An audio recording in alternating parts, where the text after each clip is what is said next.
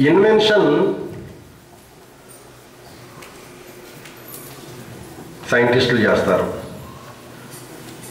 Science నుంచి inventions సైంటిస్టులు చేస్తారు. At the same time innovations mostly engineers చేస్తారు టెక్నాలజిస్టులు చేస్తారు. Okay what is engineering no idea what are engineer suppose to do no idea మరి ఎట్లాంటి సిచ్యుయేషన్లో వాళ్ళు ఏం చేయబోతున్నట్టు? మరి ఎందుకు చదివినట్టు? ఎందుకు ఇంజనీర్లు అయిపోయినట్టు వాళ్ళు? అంటే అంతకు ముందు నాలుగు సంవత్సరాల కోర్సులో వాళ్ళు ఏం నేర్చుకున్నట్టు? వాళ్ళకి చదివిందే వాళ్ళ డిగ్రీ దేనికే తీసుకున్నారో దాంట్లోనే అవగాహన లేకపోతే వాళ్ళు చేతులతో చేయాల్సిన పని ఆలోచన పని రెండు కలిపి ప్రపంచానికి ఏం సాధించేది ఉంది అక్కడ? అర్థమవుతుందా? అలాంటి సిచ్యువేషన్లో ఎందుకు పడ్డారో అని వాళ్ళ తప్పు కాదు పిల్లలు ఎవరు తప్పు కాదు. దానికి చాలా రీజన్స్ ఉన్నాయి. ఆ రీజన్స్ అన్ని మనం డిస్కస్ చేసేదానికన్నా స్కూల్ పిల్లల్లో సరైనటువంటి అవగాహన సిక్స్త్ నుంచి టెన్త్ క్లాస్ మధ్యలో టెన్త్ క్లాస్ పిల్లల మధ్యలో కనుక ఈ అవగాహన పెట్టేస్తే what is science what is engineering what is technology ఏమని చెప్పాను అని మీలో ఒక ఐడియా పెట్టేస్తే సరిపోతుందని డైరెక్ట్గా నేను ఆన్సర్ ఇవ్వకుండా కొంచెం మధ్యలో బయో మీడియాగా కొంచెం చిన్న ఆన్సర్ ఇచ్చే ప్రయత్నం చేస్తాను. కొన్ని ప్రజెంటేషన్ ద్వారా లాస్ట్లో ఎండ్ ఆఫ్ ద సెషన్ మీ అందరు మీకే తెలిసిపోవాలి అది ఓకే? సైంటిస్టులు కొన్ని అబ్జర్వేషన్లు చేస్తూ ఉంటారు. ఆ అబ్జర్వేషన్కి కొన్ని క్వశ్చన్లు పెట్టుకుంటారు.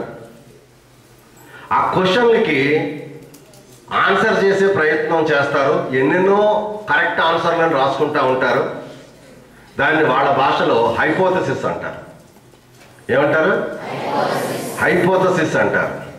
దాని వెనకాల కొన్ని ప్రయోగాలు చేస్తారు కొన్ని ఎక్స్పెరిమెంట్లు చేస్తారు. వాటి ఆధారంగా బయట నుంచి కొంత డేటా కలెక్ట్ చేస్తారు. వాటిని ఫైనల్గా రిజల్ట్ డిక్లేర్ చేసే ముందు కంక్లూజన్కి వస్తారు. ఆ కంక్లూజన్లో ఏమని రాస్తారంటే హైపోథెసిస్లో ఏమైతే రాసుకున్నామో అది వెరిఫై చేయబడింది. అని కంక్లూజన్లో రాస్తే కనుక వాళ్ళు ఒక కొత్త ఇన్వెన్షన్ చేసినట్టే వాళ్ళు. అర్థమైంది నీకు so procedure is same for scientist so ఎవరైతే ఈ ఏడు ఎనిమిది స్టెప్ల ప్రొసీజర్లో అడుగులు ముందుకు వేస్తారో అర్థమవుతుందా మీడియా చిల్డ్రన్? వాళ్ళందరూ కూడా నా దృష్టిలో సైంటిస్ట్లే ఆ ప్రొసీజర్లు ఏంటి? First observation. ఇది చాలా కేర్ఫుల్గా ఉన్నాను ఫస్ట్ అబ్జర్వేషన్. అబ్జర్వేషన్ తర్వాత రావాల్సింది ఒక క్వశ్చన్. ఆ క్వశ్చన్ తర్వాత ఒక హైపోథసిస్. ఆ హైపోథిసిస్లో రాసుకుంటారనమాట వాళ్ళు రాసుకున్న క్వశ్చన్కి ఇది ఒక ఆన్సర్ అని రాసుకుంటారు. దాన్ని వెరిఫై చేయడానికి కొన్ని ప్రయోగాలు ఎక్స్పెరిమెంట్లు ఎన్ని చేస్తారు? డేటా కలెక్ట్ చేస్తారు. ఫైనల్గా కంక్లూజన్లో మేము రాసుకున్న హైపోథిస్లో ఏమైతే రాసుకున్నామో ఆ విషయం ఇక్కడ వెరిఫై కాబడింది. అంతే. అప్పుడు వాళ్ళు కొత్త ఇన్వెన్షన్ చేసినట్టు అయిపోయింది. అదే మీ పాయింట్ ఇప్పుడు మీరు నన్ను అడగాల్సిన క్వశ్చన్ ఏంటంటే మీరు అందరూ అబ్జర్వ్ చేయాలి. ఫైన్ గుడ్ నాకు తెలుసు. అబ్జర్వేషన్స్ అన్నీ కూడా మనసుంటే అవే వచ్చేస్తూ ఉంటాయి. అలాంటి అబ్జర్వేషన్ చేస్తే మీరు ఉన్న స్థితి నుంచి ఎంత ఉన్నతమైన స్థితికి ఎదిగే అవకాశం ఉందో తెలియజేయడానికే ఈరోజు ఈ scientific temperament and scientific method and scientific demonstration చాలా ఉన్న విషయాలు. ఓకేనా?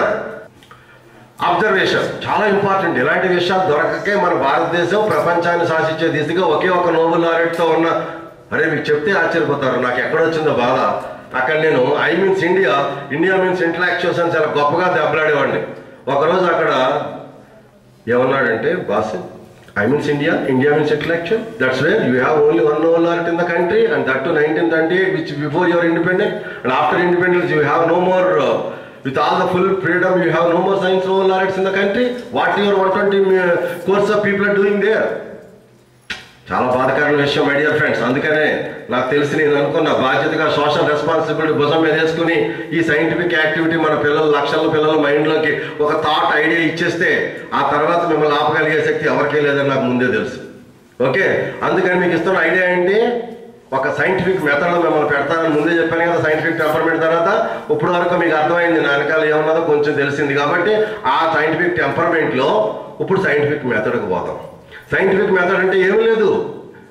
మంచి మనసుతో ప్రపంచాన్ని కళ్ళతో కాకుండా మనసుతో చూస్తుంటే మీకు తెలియని ఎన్నో విషయాలు అబ్జర్వేషన్లో మీ ముందు కంటి ముందుకు వస్తాయి. ఎన్నో అబ్జర్వేషన్లు మీ కంటి ముందు వస్తాయి. ఇప్పుడు వరకు సాల్వ్ కాబడిన పనులు చాలా తక్కువ. అన్సాల్వ్డ్ అన్టోల్డ్ ఎంత ఉన్నాయో ఎవరికి తెలియదు అందుకని ఏముందిలే అన్ని అందరూ కనిపెట్టి ఉంచారు కదా మన కోసం అనుకుంటున్నారు. మీకు తెలియదు ఇప్పుడు వరకు ప్రపంచంలో మనం అందరం తెలుసుకున్న విషయం నాట్ ఈవెన్ వన్ పర్సెంట్ అనుకోండి. ఇంకా అంత అంటోల్డ్ అంత ఉంది. దాన్ని అంత ఎక్స్ప్లోర్ చేయాల్సిన బాధ్యత మీ మీద ఉంది. చేసే ప్రయత్నం ఎంతైనా చేయొచ్చు. ఒక్కొక్కరు ఎన్నెన్ని నోవులు లారెట్లైనా తీసుకోవచ్చు మేడం క్యూరీలో ఒకటి ఫిజిక్స్లోను ఒకటి కెమిస్ట్రీలో చిన్న విషయం కాదు.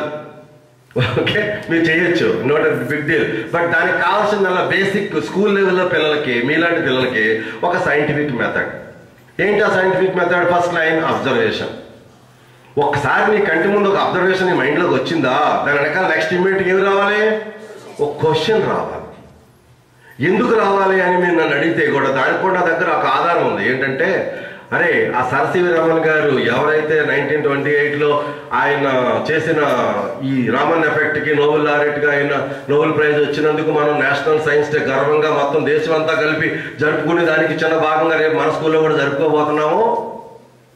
ఇది ఒక పెద్ద బిగ్ గ్రాండ్ వేలో జరగాలనే పని దానికోసం నేను కూడా మీ ముందుకు వచ్చున్నాను మీతో పని చేయించడం కోసం. ఆయన యూరప్ నుంచి వచ్చేస్తుంటే ఎవరో? ఆయన రెండే కనిపిస్తున్నాయి. మరి ఈ రోజులలాగా ఫ్లైట్లు రోజులు వెళ్ళిపోవటం కాదు కదా పది గంటల ఒక యూకేలో ల్యాండ్ అవటం కాదు కదా. ఆ రోజుల్లో మరి రోజుల తరబడి షిప్పుల్లో ప్రయాణాలు కదా. అందుకని ఆయన యూరప్ నుంచి ఇండియా వస్తున్నారు. వస్తుంటే ఆయనకి రెండే కనిపిస్తున్నాయి. ఏంటి? ఒకటి పైన ఆకాశం రెండు సముద్రం. సో అది నేలం ఇది చెప్పండిరా. మీ యూనిఫామ్. కానీ చున్నీలన్నీ అయ్యే కలర్లో కనిపిస్తున్నాయి అందుకని. సో ఏవైనా కూడా ఆయన మధ్యలో ఏం చేశాడంటే అలా చూస్తున్నాడు నీలం ఇలా చూస్తున్నాడు నీలం. ఎస్ఆర్నో మధ్యలో ఏం చేశాడు? సింపుల్గా వై అని యాడ్ చేశాడు. ఏం చేశాడు?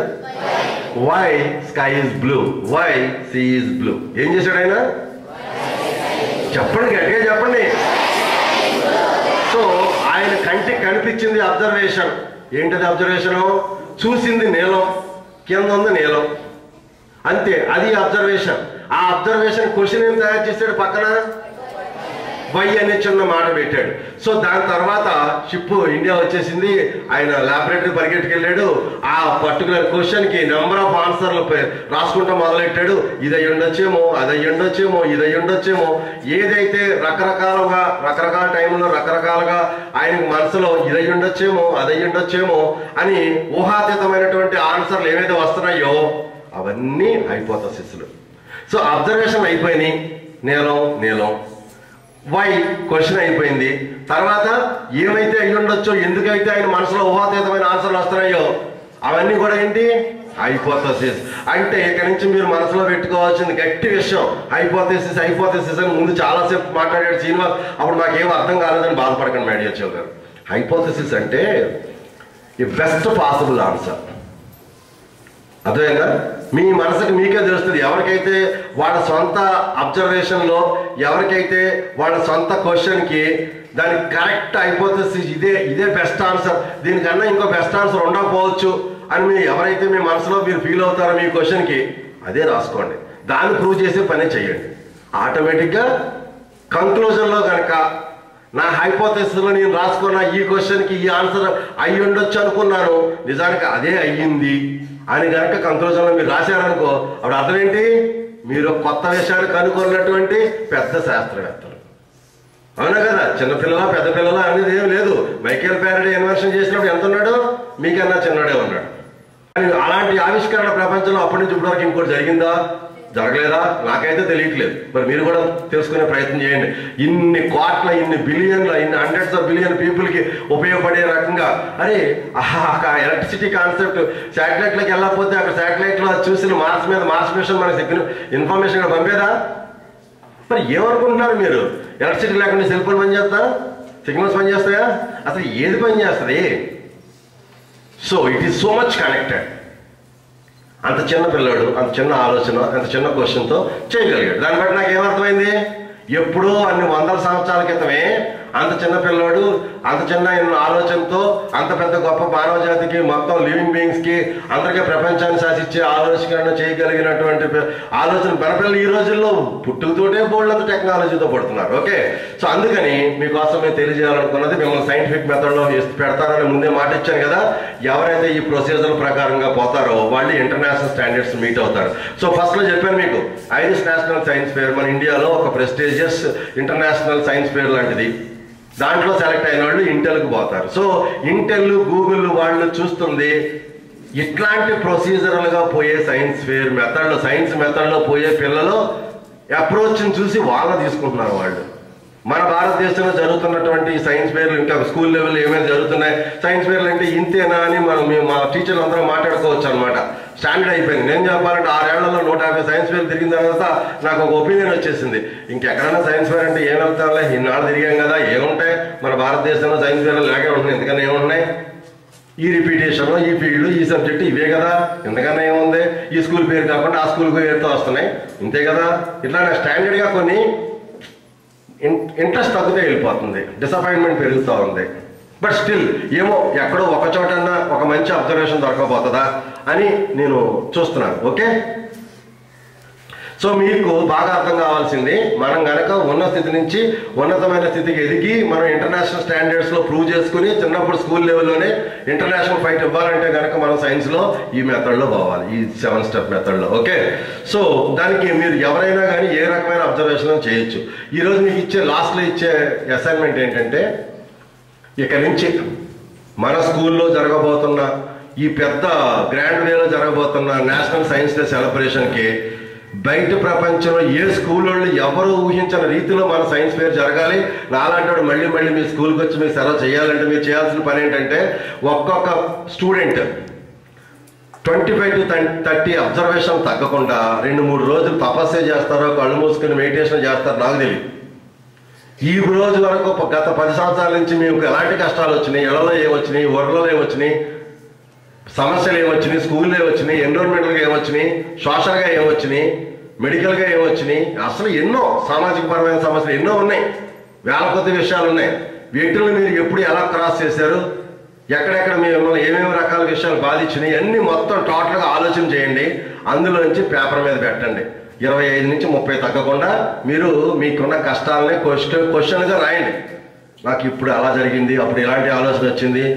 ఇట్లా ఎన్నెన్నో ఎన్నెన్నో ఏదేదో ఉంటాయి మీ మైండ్లో నాకు తెలియదు అన్నీ రాయండి. అప్పుడు మాలాంటి వాళ్ళు మా టీచర్స్ అందరం కలిసి మేము ఏం చేస్తామంటే వాటిని షార్ట్ లిస్ట్ చేసి ఎవరి ఆలోచనల్లో ఒకరి ఒకరు షేర్ చేసుకోకండి. ఎందుకంటే దానికి క్రెడిట్ ఉంటుంది. ఎవరు గొప్ప ఆలోచన చేస్తే వాళ్ళు స్పెషల్ క్రెడిట్ ఇస్తాం. బై మిస్టేక్ కూడా ఇంకొకరిని చూడనివ్వకండి. ఎందుకంటే క్రెడిట్ మిస్ అయిపోతారు మీరు. ఆ క్రెడిట్ వల్ల వచ్చే బెనిఫిట్ చాలా ఉన్నాయి. తర్వాత చెప్తాను ఇప్పుడు చెప్పను. ఓకే కానీ ఆ రాసినటువంటి ఆ బెస్ట్ మీ అబ్జర్వేషన్స్ మీ క్వశ్చన్స్ మీకు మేము అలర్ట్ చేస్తాం. ఆ పర్టికులర్ దాంట్లో నువ్వు ఎందులో ఎంత బాగా నువ్వు ప్రాజెక్ట్ చేయగలవో అది అసైన్ చేస్తాం. చేసి మీకు ఒక పద్ధతి ఇస్తాం మెటీరియల్ ఇస్తాం ఐడియా ఇస్తాం డిజైన్ ఇస్తాం అన్నీ మీరు చేయలేరు కాబట్టి. బట్ అల్టిమేట్గా మీ తరపు నుంచి ఒక మంచి చక్కటి మీ చేతితో మీ ఓన్ ఇంట్రెస్ట్తో ఉన్న ఆలోచనతో ఒక బెస్ట్ ప్రోడక్ట్ ఎగ్జిబిట్ అవుతుంది. ఒక సమస్యకి ఒక పరిష్కారం. This is called problem solving based science fair ఏమంటారు? మన స్కూల్లో జరగాల్సింది problem solving based science fair సమస్యలు మీరే గుర్తించారు. వాటికి పరిష్కారం కనుగొనే మార్గంలో తక్కువ సమయంలో మీ అంతా మీరు కొంత పరిష్కారిస్తారు మీ తోడుగా టీచర్లుగా మేము కూడా దానికి సహకరిస్తాం. సహకరించి అల్టిమేట్గా మీ ఆలోచనల్ని ఒక రూపం తీసుకొస్తాం. దాన్ని మనం ఎగ్జిబిట్ చేస్తాం. మన నేషనల్ సైన్స్ డే రెస్పెక్ట్ చేయిస్తూ. అప్పుడు అందులో ఎంత ఇన్నోవేటివ్గా ఉంటుంది how different it is from regular other science fairs from other schools or other districts and other states ఎందుకంటే that's all your own problems అవి ఎక్కడ ఇదివరకు ఎవరి దగ్గర వచ్చి ఉండవు. ఈ పద్ధతిలో మన స్కూల్ లెవెల్లో నేషనల్ సైన్స్ డేకి వచ్చిన వాటిల్లో ది బెస్ట్ కొన్ని ప్రాజెక్టుల్ని మేము డాక్యుమెంట్ చేసి హై లెవెల్లో నేషనల్ అండ్ ఇంటర్నేషనల్ లెవెల్లో సబ్మిట్ చేస్తాం. ఆ పిల్లలకి ఆ రకమైన అవకాశాలు దొరుకుతాయి. ఓకేనా? సో మీకు సైంటిఫిక్ మెథడ్ అంటే అర్థమైందా లేదా? ఇలాంటి సైంటిఫిక్ మెథడ్ తెలుసో తెలియకో పూర్వీకులు మన పురాణ ఓల్డ్ సైంటిస్టులు వాళ్ళు పడిపోయారు. పడిపోయి ఆ సైంటిఫిక్ మెథడ్ని వాళ్ళే రూపొందించుకున్నారు. అందుకు కాబట్టే ఇన్వెన్షన్స్ వచ్చినాయి. అర్థమైందా? సో ఇన్వెన్షన్స్ సైంటిస్టులు చేశారు. సైన్స్ని డెవలప్ చేశారు సైంటిస్టులు చేశారు. ఇంజనీర్స్ ఏం చేశారు? వాళ్ళు చేయాల్సిన పని కూడా ఏంటి? ఎవరో సైంటిస్టులు డెవలప్ చేసిన సైన్స్ని ప్రజలందరికీ అందుబాటులో తీసుకొచ్చే రకంగా మార్పు చేర్పు చేయటం ఏదైతే ఉందో దాన్ని ఇంజనీరింగ్ అంటాం. ఓకే మరి ఈ రోజున భారతదేశంలో ఇంజనీర్లు ఎక్కువైపోయారు. అసలు భారతదేశం అంటే ఇంజనీర్లు ఇంకా సైంటిస్టులు లేరే లేరు. అందుకని department of science and technology New Delhi నుంచి విపరీతమైన ఎఫర్ట్ పెడుతుంది. పిల్లల నుంచి పెద్దల వరకు కోర్ సైన్సెస్లో విపరీతమైన ఇంట్రెస్ట్ పెంచాలి సైంటిస్టులు పెంచాలి. ఎందుకంటే ఒక సింగిల్ సైంటిస్ట్ కనుగొన్న ఆవిష్కరణ కొన్ని లక్షల ఇంజనీర్లకి దారి చూపించగలదు పని చూపించగలదు? అంతే తప్ప ఇన్వెన్షన్ ఏమి లక్షల్లో ఉండవు. అర్థమైందా? కా- అవి కాన్సెప్ట్స్ అన్నమాట. అవి ఈవెన్ హండ్రెడ్ ఉన్నా ఒక్కొక్క ఆలోచన వెనకాల అబ్బో కొన్ని లక్షల కంపెనీలు నడుస్తూ ఉంటాయి. అర్థం నీకు? సో ఎంతమందికి ఎంప్లాయ్మెంట్ అది ఎన్ని కోట్ల మంది ప్రజలకి ప్రాబ్లం సాల్వ్ చేస్తుంది? ఎస్ఆర్లో చిన్న ఎగ్జాంపుల్ నాన్న. సైన్స్లో ఈ రకమైన జ్వరం వచ్చినప్పుడు ఈ రకమైన మెడిసిన్ ఇవ్వాలని ఒక సైన్స్ ఒక సైంటిస్ట్ కనిపెట్టడం జరిగింది. దాన్ని కో- వందల కోట్ల మంది మనుషులకు తీసుకెళ్ళాలంటే ఎలాంటి ఫ్యాక్టరీ పెట్టాలి ఇది ఎంత హై రేట్లో తయారు చేయాలి ఇవన్నీ డిసైడ్ చేసేది ఆ- డివిజన్ అంతా ఇంజనీరింగ్ అయిపోతుంది. ఓకే? మీకు అర్థంగా పాయింట్ అది ఇంకా తక్కువ కాస్ట్కి ఎలా తయారు చేయాలి టెక్నాలజిస్టులు చూసుకుంటారు. సో మీకు అర్థం అవ్వాల్సింది ఏంటి మోస్ట్ ఎఫిషియెంట్గా లెస్ కాస్ట్లో తీసుకురావాల్సింది టెక్నాలజిస్టులు ఇంజనీర్స్ పని ఏంటి ఈ సైన్స్ సైన్స్ దగ్గర సైంటిస్టులలో ఉన్న ఆలోచనలు తీసి అందరి సమస్యలకి దాన్ని ప్రొడక్షన్లో తీసుకొచ్చి ప్రొడక్ట్గా బల్క్లో అందించాల్సిన పని వీళ్ళు చేస్తారు. ఓకే ఫర్దర్ ఫైన్ ట్యూన్ చేసి దాని కాస్ట్ ప్రొడక్షన్ తగ్గి మా సామాన్య మానవులకు అందేలా చేయగలిగే పని టెక్నాలజీలు ఓకే సో మీకు కొంత క్లారిటీ వచ్చింది ఇప్పుడు. సైంటిస్టులు పని చేయటి ఇంజనీర్ల పని ఏంటి టెక్నాలజీల పని ఏంటి మీకు కొంత క్లారిటీ వచ్చింది. అందుకని మీకు కొంచెం బేసిక్స్లో నేను కొంచెం అన్ఫార్చునేట్లీ నాకు సైన్స్ అన్ని రంగాల్లోనే ఇష్టమే. బయాలజీ తర్వాత ఇంకా మెడికల్ సైన్సెస్ అన్ని రకాల సైన్స్ ఇష్టమే. బట్ అనుకోకుండా నేను ఇంజనీరింగ్ ఎలక్ట్రానిక్స్ ఆ డైరెక్షన్లో చేస్తున్నాను కాబట్టి ఆ ఏరియాలో సైన్స్ కొంచెం ఎక్కువ మాట్లాడతాం. ఓకే లేకపోతే ఈరోజు పొద్దున్నే మేము ఇక్కడ బస్ దిగ్గానే కొబ్బరి బండంలోకి కొబ్బరి నీళ్ళు ఎలాగొచ్చినాయి అని డిస్కస్ చేసుకుంటున్నాం. నేను మాస్టర్ గారు. మరి మీరేమో సార్ ఫిజిక్స్ ఇష్టం కదా అనుకుంటున్నారు మీరు. కదా? నేను ఫిజిక్స్ మనిషిని కదా? ఫిజిక్స్ ఇష్టం. నా ప్లాన్ ఏంటి? మనం చేసే ఆలోచన ప్రతి ఒక్క దాంట్లోనూ అన్ని రకాల సైన్స్లో ఉన్నాయి. ఎందుకని? ఒరే మీకు ఎవరికన్నా డిఫరెంట్ పార్ట్స్ ఆఫ్ సైన్స్ తెలుసా? సైన్స్లో ఉన్న డిఫరెంట్ పార్ట్ పార్ట్స్ భౌతిక శాస్త్రం రసాయన శాస్త్రం ఇంకా? ఏంటమ్మా? జీవశాస్త్రం ఖగోళ శాస్త్రం సో ఎన్నో ఉన్నాయి బ్రాంచెస్ ఆఫ్ సైన్స్ అబ్బో చాలా ఉన్నాయి. అల్టిమేట్లీ అన్ని ఎక్కడి నుంచి వచ్చినాయి? సైన్స్ పెరుగుతా పెరుగుతా బ్రాంచెస్ అయిపోయినాయి. అందుకని మనం ఏ ఒక్కరిదాన్ని సెపరేట్ చేసి మాట్లాడకూడదు. ఓకే సరే. నేను మీకోసం ఏం చేయాలనుకుంటున్నానంటే ఒకటి రెండు ఇన్వెన్షన్స్ ఎక్కడ మొదలైనవి ఎక్కడికి వెళ్ళినాయి ఇన్నోవేషన్స్ వరకు. ఎందుకంటే నాకు అబ్బాయిలు అందరూ ఎక్కువగా ఇన్నోవేషన్ చేయాలని ఇంట్రెస్ట్తో కనపడుతున్నారు. అమ్మాయిలు అందరూ ఇన్వెన్షన్ చేయాలనే ఇంట్రెస్ట్తో కనపడుతున్నారు. ఎందుకో నాకు తెలిసిపోతుంది నా ఎక్స్రేస్లో అదేనా అందుకని వీళ్ళేమో ఆ ఇన్వెన్షన్స్ బాగా అర్థం చేసుకోండి స్టార్టింగ్లో ఆ తర్వాత ఇన్నోవేషన్స్ మీరు బాగా అర్థం చేసుకోండి. ఒక రెండు విషయాల గురించి నేను చిన్న చిన్న ప్రజెంటేషన్ తయారు చేశాను మీకు. సో దట్ ఆ తర్వాత నేషనల్ సైన్స్ డేకి నాట్ ఓన్లీ ప్రాజెక్టులు తయారు చేయటం. అవసరమైతే మీరు ఇలాంటి ప్రజెంటేషన్ కూడా తయారు చేస్తే కూడా మేము యాక్సెప్ట్ చేస్తాం. కానీ దేని మీద ఉండాలి? ఒక ఇన్వెన్షన్ దగ్గర స్టార్ట్ అవ్వాలి మీ పీపీటీ. ఒక ఇన్నోవేషన్ వరకు వెళ్ళాలి. అది ఏ సైన్స్ మీదైనా నాకు బాధలేదు అర్థమవుతున్నా మీడియం చిల్డ్రన్ ఏ సైన్స్ మీద తీసుకోండి ఏ కాన్సెప్ట్ మీద తీసుకోండి. Ultimately me start with invention to innovation. అలా కూడా మీరు చేయొచ్చు. డేటా కలెక్ట్ చేసి మీకు సపోర్ట్ చేస్తారు. మన టీచర్స్ సపోర్ట్ చేస్తారు.